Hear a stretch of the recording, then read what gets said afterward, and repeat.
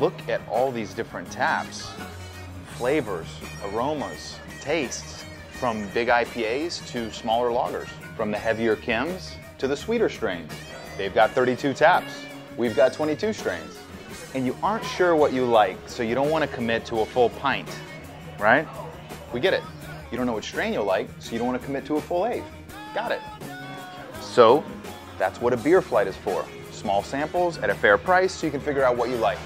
So that's what a cannabis flight is for. Choose any three grams of your choice from the 22 strains we have available. Try a bunch of grams, find out what you like, then come get an eighth or two. Check your email for details and we'll see you soon.